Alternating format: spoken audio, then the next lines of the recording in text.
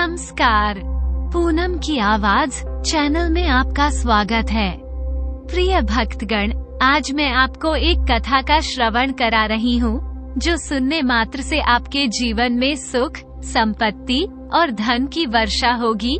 तो चलिए कथा को प्रारंभ करते हैं। श्रोताओं, एक जंगल में एक तोता और मैना प्रेम पूर्वक आपस में मिलकर रहा करते थे। उनमें बहुत प्रेम था। एक दिन किसी विवाद के कारण तोता और मैना के बीच झगड़ा हो गया। तोता ने कहा कि इस संसार में सबसे बड़ा पापी और विश्वासघाती स्त्री है। मीना ने जवाब दिया कि इस संसार में सबसे ज़्यादा पापी और विश्वासघाती पुरुष होते हैं। जब वे दोनों आपस में लड़ते रहे और अपने विवाद का निदान के लिए वे भगवान शिव के पास गए और अपनी बात बताई शिव जी ने तोते से कहा, तुम कैसे कह सकते हो कि संसार में स्त्री पुरुषों की अपेक्षा ज़्यादा पापी और विश्वासघाती है? अगर आप ये कहानी सुन रहे हैं तो पूरा सुनिए। इस कथा को आधा अधूरा छोड़कर जाने की गलती मत करिएगा, क्योंकि इस पवित्र कथा को पूरा सुनने से मन चाह फल की प्राप्ति होगी। इसलिए इस कथा को पूरा सुने। आप शिव भक्त हैं तो भोलेनाथ का अनादर ना करें। तोता बोला, प्रभु, मैं आपको एक कहानी सुनाना चाहता हूँ, जिससे हम सबको ये साबित होगा कि स्त्री पुरुषों की अपेक्षा ज़्यादा पापी और विश्वासघाती होती है। फिर भगवान शिव बोले, ठीक है, तुम कहानी सुनाओ।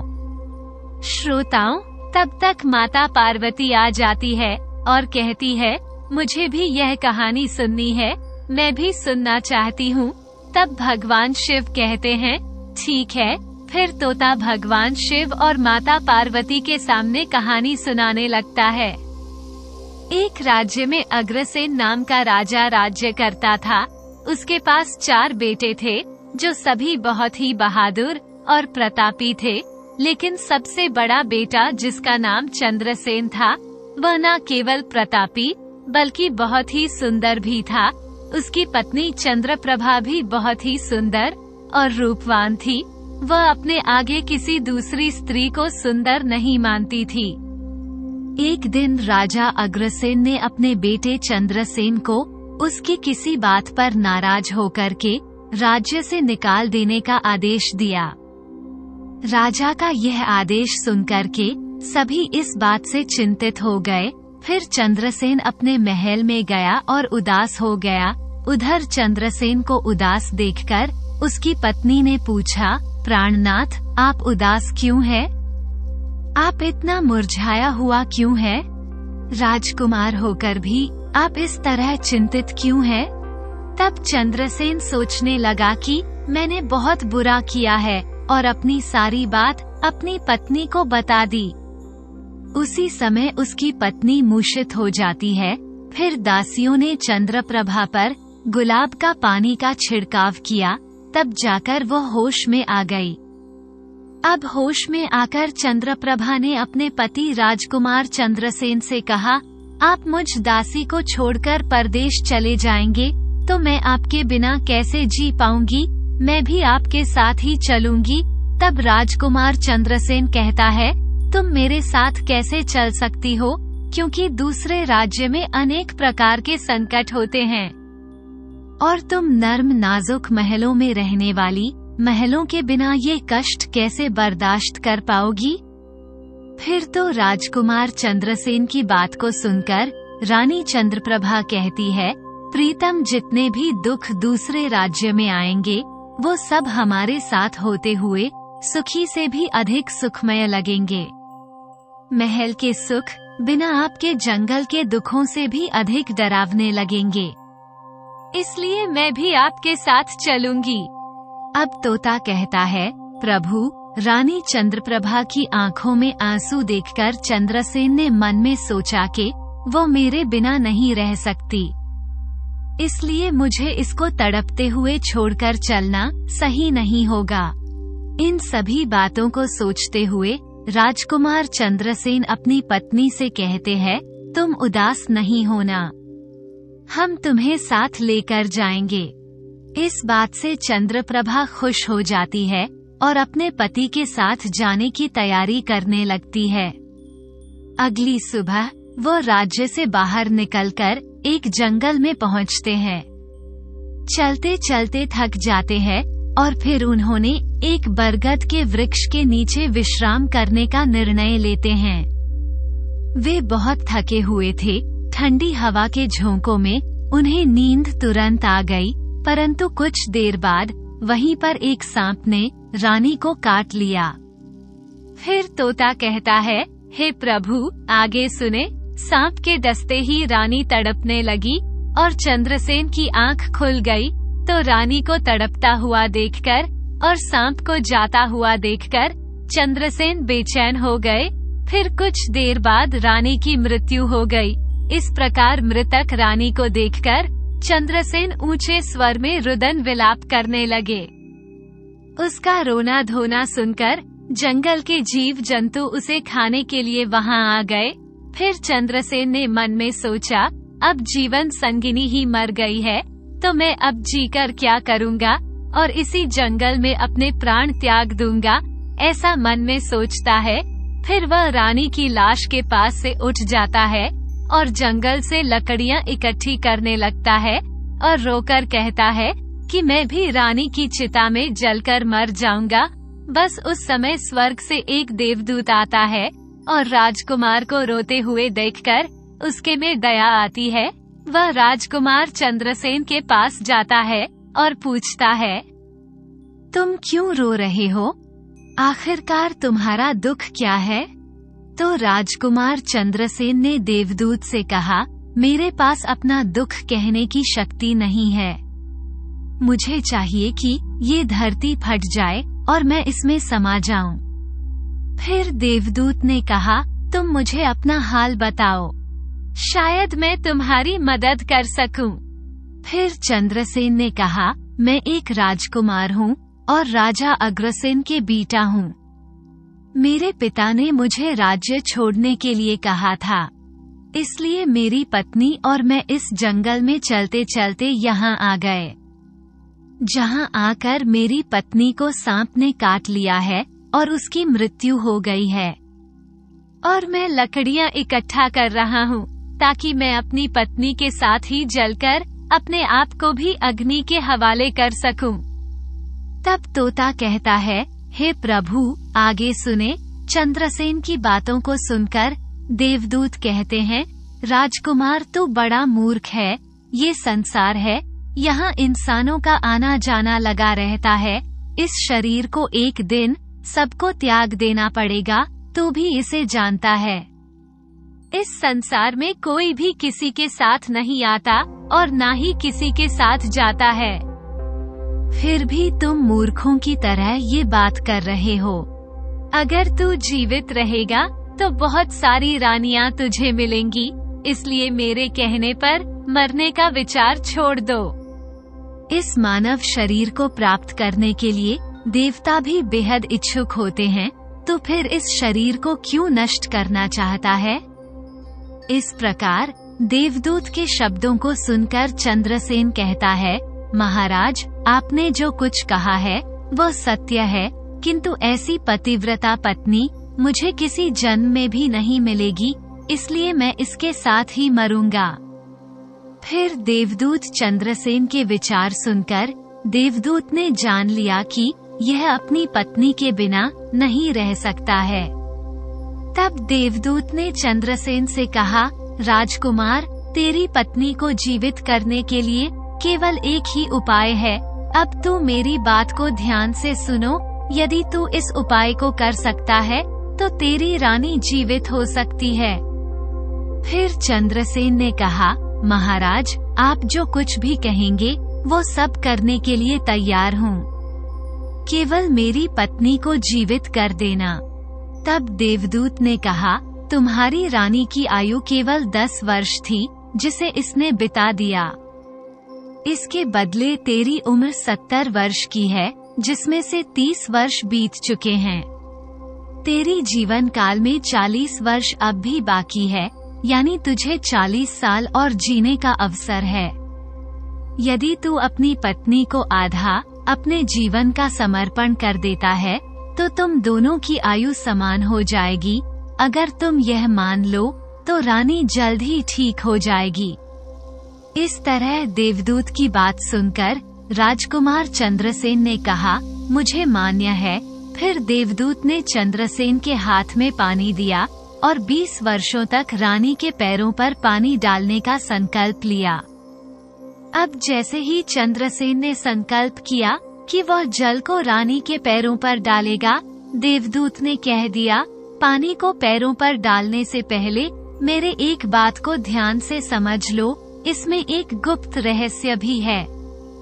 अभी तो तुझे रानी की आवश्यकता है, तुम पानी डालकर उसको बचा सकते हो, लेकिन भविष्य में अगर रानी की आवश्यकता नहीं पड़ती है तो तुम अपने संकल्प को वापस ले सकते हो, और जब वो संकल्प वापस लेते हो तो तुम्हारी रानी को तुरंत ही मौत हो जाएगी।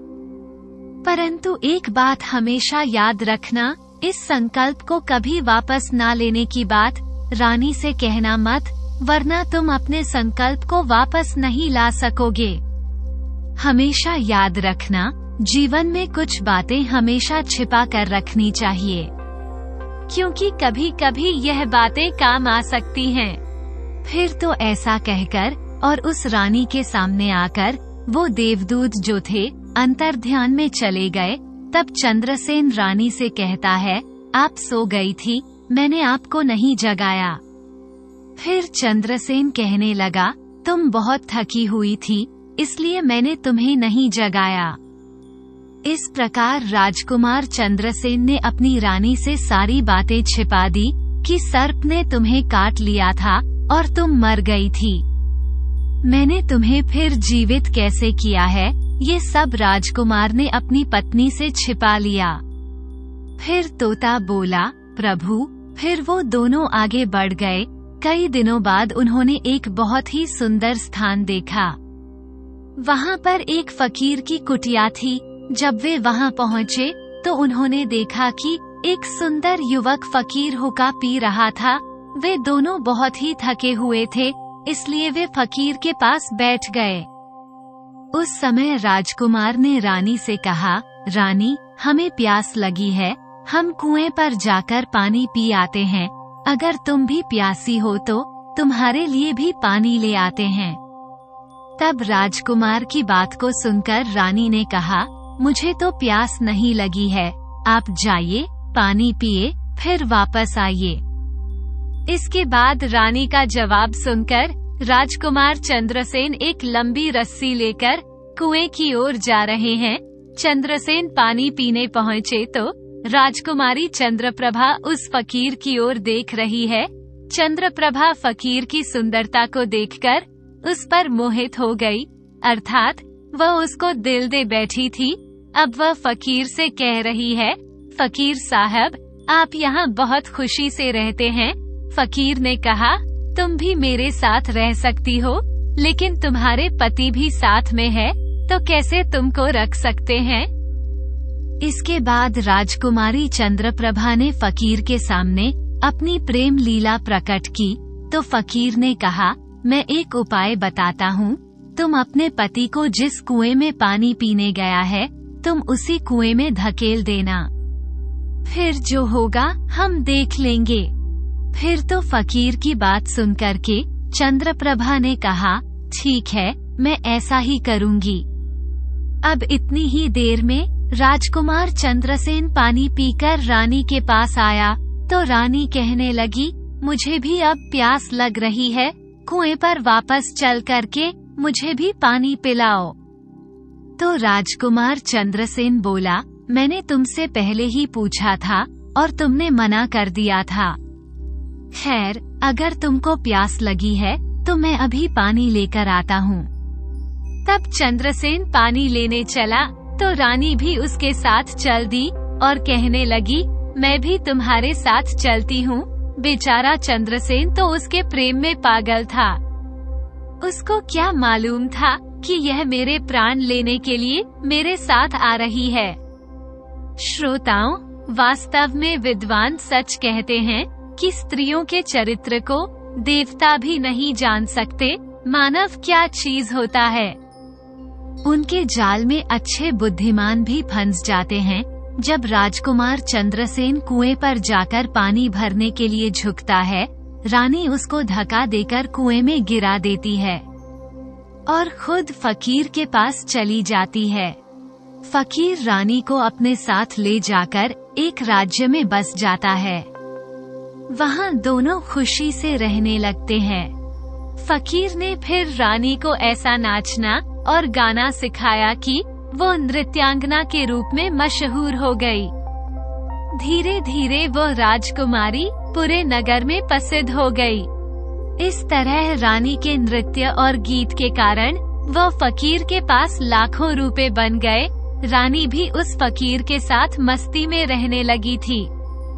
जिस समय रानी ने अपने पति चंद्रसेन को कुएँ में ढकेल दिया था, तब संयोग से एक जंजीर, जो कुएँ में लटकी थी, उसे पकड़ लिया था।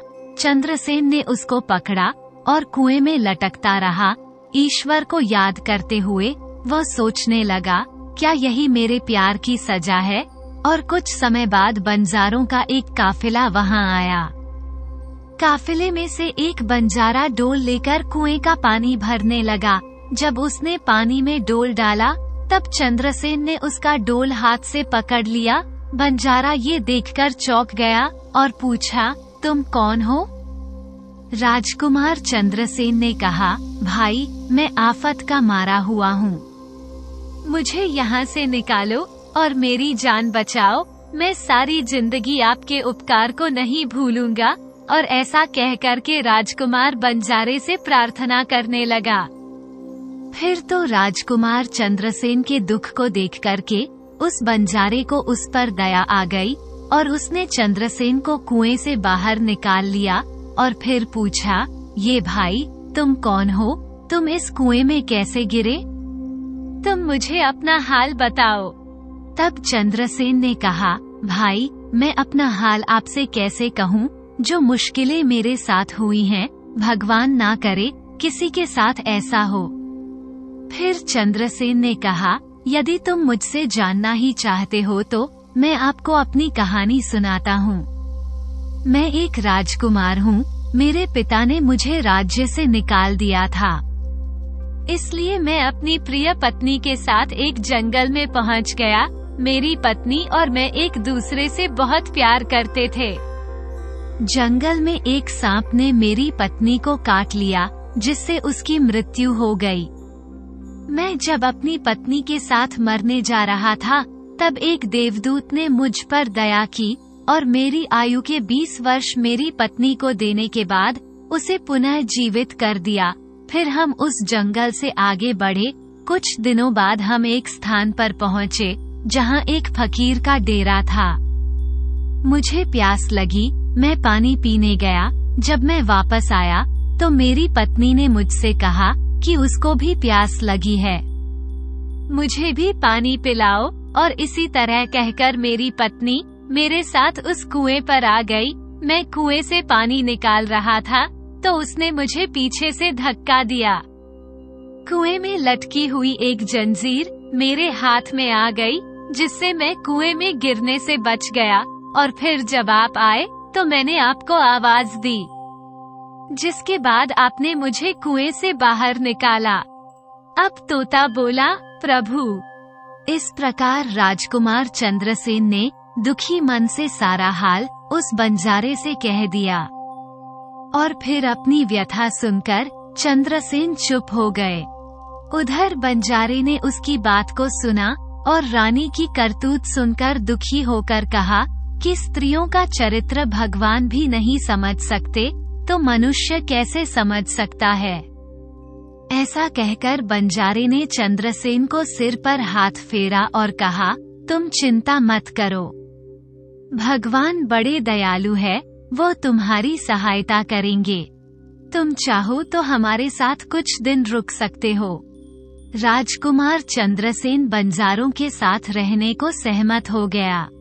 फिर उनकी सहायता से वो कुछ दिनों बाद उसी राज्य में पहुँचा, जहाँ उसकी पत्नी चंद्रप्रभा और वह फकीर रह रहे थे। उस राज्य को देखकर उसने बंजारे से कहा भाई मेरी इच्छा है कि कुछ दिन इस राज्य में रहते हैं। तब बंजारे ने कहा आप जैसे चाहे मुझे कोई आपत्ति नहीं है। फिर राजकुमार चंद्रसेन बंजारे से विदा होकर राज्य में आया और काम की तलाश में घूमने लगा। कुछ दिनों बाद राजकुमार की मेहनत परिश्रम देखकर, उसे एक बड़े व्यापारी ने अपने पास नौकरी पर रख लिया। इस तरह राजकुमार चंद्रसेन ने उस व्यापारी के पास रहना शुरू किया और बड़ी मेहनत और प्यार से अपने कर्तव्यों का निर्वाह करना शुरू किया। ये देखकर उस व्यापारी ने चंद्रसेन को बड़ा सम्मान दिया और उसे अपने यहाँ का मुनीम बना लिया और इस तरीके से राजकुमार चंद्रसेन के दिन बड़ी खुशी खुशी गुजरने लगे। अब एक दिन नगर के राजा के यहाँ चंद्रप्रभा के नृत्य का आयोजन हुआ। राजा ने उस शहर के सभी बड़े व्यापारी और सेठों को अपने यहाँ नृत्य देखने के लिए आमंत्रित किया। जब राजकुमारी चंद्रप्रभा का नृत्य होने वाला था शहर के सभी व्यापारी और सेठ साहूकार राजा के यहाँ पहुँच गए।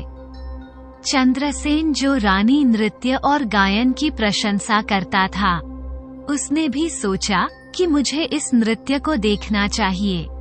वह भी राजा के दरबार में सेठ के साथ यहाँ पहुँच गया। रानी ने अप्सरा के समान नृत्य किया और उनकी सुरीली आवाज़ में कई सुंदर रागों को प्रस्तुत किया। उनके गाने को सुनकर महफिल के सभी लोग आश्चर्य में आ गए और बहुत सारे इनाम दिए। इसके साथ ही राजा से लेकर प्रजा तक सभी ने उनकी प्रशंसा की। राजकुमार चंद्रसेन ने अपने हाथ की अंगूठी उठाई, जिसमें हीरा जड़ा हुआ था, और फिर वह उसे उतारकर रानी चंद्रप्रभा को भेंट कर दी। इसके बाद रानी चंद्रप्रभा ने अंगूठी को पहचान लिया और मन ही मन में कहने लगी, ये तो बहुत बड़ा आश्चर्य हो गया। मेरा पति ज़िंदा है और यहाँ पहुँच गए हैं। अब वो मुझे छोड़ेगा नहीं, इसलिए मुझे कुछ ऐसा करना चाहिए, जिससे वो मारा जा सके। उसने मन में सोचा, अब मैं यहाँ के राजा को एक सुरीला गाना और नृत्य सुनाऊँगी। जिससे वो खुश होकर मुझे कुछ मांगने के लिए बोलेंगे। तब मैं राजा के आदेश से उन्हें मरवा दूँगी। इसके बाद राजकुमारी चंद्रप्रभा ने सुरीला गाना और नृत्य सुनाया। रानी की इस बसंत की बहार को सुनकर राजा बहुत खुश हुए और चंद्रप्रभा को वो बोले, मैं तुमसे बहुत खुश हूँ। तुम मुझसे क्या मांगती हो? तब राजकुमारी ने कहा अगर आप मुझसे प्रसन्न हैं, तो सबसे पहले मुझे वचन दीजिए और फिर जो कुछ मैं मांगूँगी आप मुझे वही देंगे फिर चंद्रप्रभा ने कहा इस सभा में एक चोर है कृपया उसे फांसी की सजा दें। राजा ने कहा तुम उस चोर को मेरे सामने लाओ रानी ने उसका हाथ पकड़ा और उसे राजा के सामने ले गई। राजा ने अपने सैनिकों को आदेश दिया, इस चोर को जल्लादों के पास ले जाओ, और इस चोर को फांसी पर चढ़ा दो। इसी बीच चंद्रसेन का सेठ भी वहाँ पहुँचा। वो डरकर चंद्रसेन के पास गया, और पूछा, तुमने क्या चुराया इस नर्तकी का? जिसके कारण वह तुम्हें मारना चाहती है? चंद्रसेन ने अपने मालिक से कहा मालिक, मैंने कुछ नहीं चुराया है। बस आप इस राजा को केवल ये बता दो कि वह मेरी दो बातें सुन ले, इससे मेरी जान बच सकेगी। अब चंद्रसेन का मालिक, इसे सुनकर अपने साथी, व्यापारियों और साहूकारों के पास गया, और सभी ने मिलकर मशवरा किया। उन्होंने कहा, मित्रों, या तो राजा न्याय करें, या हम सभी इस शहर को छोड़कर कहीं और चले जाएँगे। और इस प्रकार सभी व्यापारी राजा के पास गए और कहने लगे, राजा साहब, हमारा मुनीम निर्दोष है, उसे मार देने का आपका आदेश है। वह कह रहा है कि वह अपनी दो बातें आपको कहना चाहता है। फिर भी आपको लगे कि उसने अपराध किया है तो उसे फांसी दे देना, लेकिन मेरे मरने से पहले राजा केवल मेरी दो बातों को ज़रूर सुने। फिर राजा ने व्यापारियों की बात सुनकर कहा, ठीक है, मुनीम को बुलाओ। चंद्रसेन को राजा के सामने लाया गया, और राजा ने कहा, तुम जो कुछ कहना चाहते हो, वो मेरे सामने कहो। तब राजकुमार चंद्रसेन ने कहा, महाराज, मैंने क्या दोष किया है? जिसके कारण आपने मेरी हत्या का आदेश दे दिया है। फिर उसकी बात को सुनकर राजा ने कहा, तू इस नृतकी का चोर है। तो चंद्रसेन ने कहा, नहीं महाराज, मैं इस कुल्टा स्त्री का पति हूँ, जो कुएँ में धकेलकर एक फकीर के साथ चली आई है। राजकुमारी चंद्रप्रभा ने समझ लिया कि बात बिगड़ रही है, तब राजा से कहती है महाराज, मैं कुल्टा हूँ। ये झूठ बोल रहा है। ये कौन है? मैं इसे जानती तक नहीं। ये तो मेरा चोर है। मैं सिर्फ़ इतना ही जानती हूँ। फिर राजकुमार चंद्रसेन ने कहा, महाराज, ठीक है। अगर यह मेरी पत्नी नहीं है तो वह सब कुछ जो मैंने रास्ते में छोड़ा था, वह मेरी अमानत के रूप में वापस कर दे। फिर चंद्रसेन रानी की ओर देखे राजकुमार ने अपनी अमानत को लौटाने की बात की तो राजकुमारी चंद्रप्रभा ने इसे स्वीकार कर लिया। तब चंद्रसेन ने कहा अच्छा अब तुम अपने हाथों में पानी लो, हमारा न्याय इसी सभा में होगा। पानी लेकर वह ज़मीन पर रखा और कहा, वह वस्तु जो मेरे पास रास्ते में दी गई थी, मैं अब वापस कर रहा हूँ। रानी ने भी पानी लिया और कहा जो वस्तु इसने मुझे रास्ते में दी थी, मैं अब वापस कर रही हूँ। जैसे ही वह अपने हाथों का पानी छोड़ा, रानी के प्राण छूट गए। ये दृश्य देखकर वहाँ के लोग हैरान रह गए। तो राजा ने ये देख चिंतित होकर चंद्रसेन से कहा, यह क्या हो गया? बताओ मुझे सच्चाई। तब राजकुमार चंद्रसेन ने अपनी कहानी शुरू की। अपने जीवन की सब घटनाओं को खुलकर बताते हुए, उसके देश निकाले जाने से लेकर, अब तक के सभी घटनाओं को सुनाया। राजा ने सब कुछ सुनकर चंद्रसेन को अपने गले लगा लिया, और अपनी बेटी की शादी चंद्रसेन के साथ कर दी। तोते ने कहा, प्रभु, मैंने इस कहानी को सुना है, मैं स्त्रियों से घृणा करता हूँ, और मैं ये कह सकता हूँ कि इस संसार में स्त्रियाँ पुरुषों से अधिक पापी और विश्वासघाती होती है अब श्रोताओं, एक बार तोते ने भगवान शिव और पार्वती को एक कहानी से यह बताया कि स्त्री पुरुषों की तुलना में अधिक पापी और विश्वासघाती होती हैं। तो इसे सुनकर सभी ने हैरानी में डाल दिया मैना ने कहा, प्रभु, मुझे लगता है कि तोता सच कह रहा है स्त्री तो सभी में से केवल एक दो ही बिना नैतिक मूल्यों और ईमानदारी के हो सकती है। परंतु पुरुषों में भी ऐसे कुछ हैं, जो पापी और विश्वासघाती हो सकते हैं। फिर भगवान शिव ने पूछा, ठीक है तो मैना तुम कैसे सिद्ध करोगी यह बात? मैं भी एक कहानी सुनाती हूँ, जिससे स्पष्ट होगा कि स्त्री की तुलना में पुरुष अधिक पापी और विश्वासघाती होते हैं। फिर मैना ने कहना शुरू किया, प्रभु एक गाँव में एक परिवार रहता था, जो बहुत ही धनवान था, और उस धनवान, यानी सेठ का बेटा, एक अद्भुत प्रकार का व्यक्ति था। सेठ का बेटा इतना जुवारी था कि, सेठ उसके बारे में सोचते सोचते परेशान रहता था। एक दिन उनका बेटा जुआ खेल रहा था उसी दिन उसके पिता का निधन हो गया। फिर भी वो जुआ खेलना बंद नहीं किया, लेकिन पिता की मृत्यु के बाद वो खुल के जुआ खेलने लगा और सब कुछ हार गया।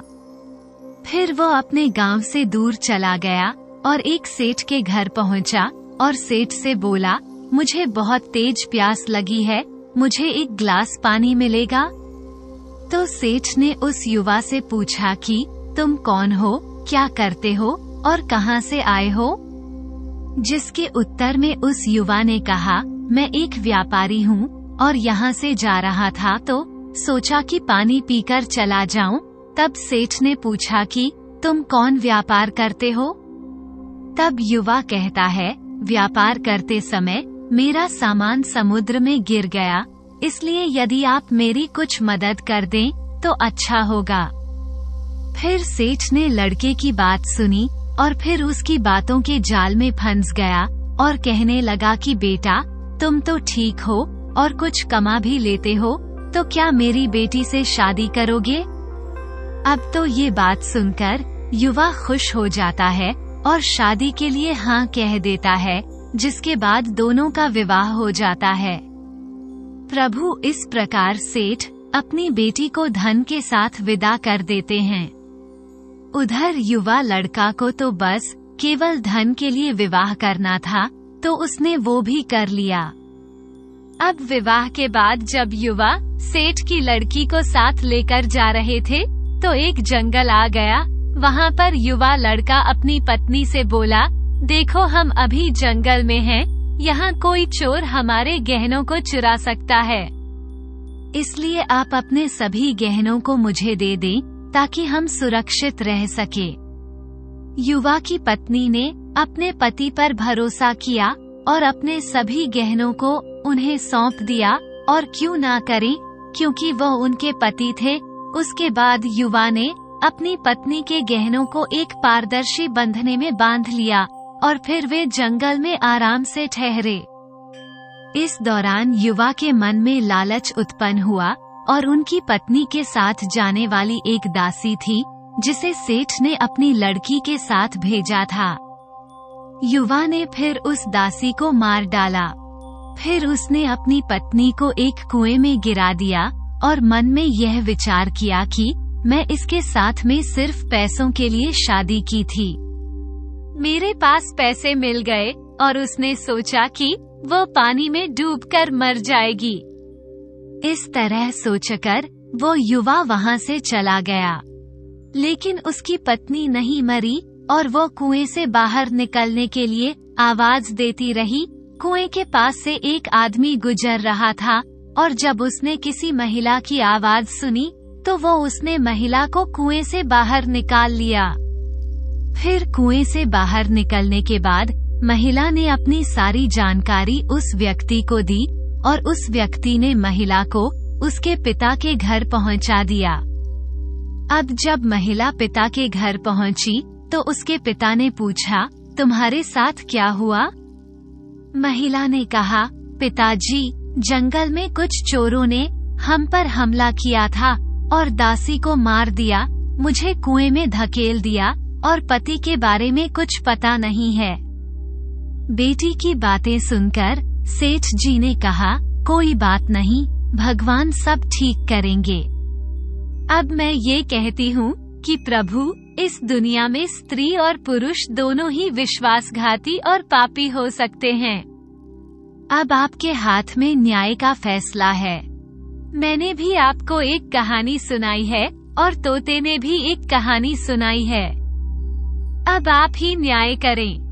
उसने अपनी पत्नी को मारा और सारा सामान लेकर के चला गया। अब तोता और मैना की कहानी सुनकर भगवान शिव बोले, ठीक है, तोता और मैना। मैंने तुम्हारी कहानी को ध्यान से सुना है, अब मैं तुम्हारा न्याय करता हूँ।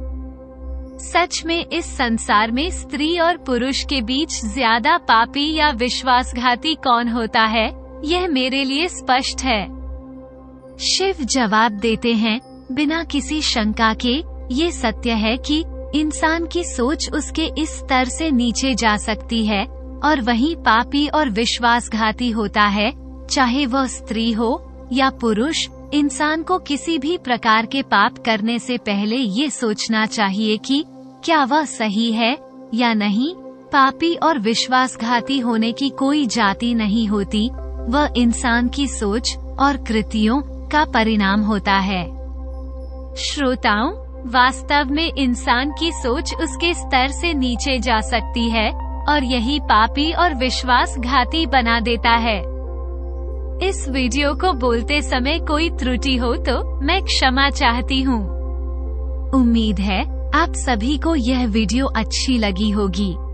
अगर आप शिव के सच्चे भक्त हैं तो चैनल को सब्सक्राइब और वीडियो को लाइक करके कमेंट में हर हर महादेव लिख दीजिए।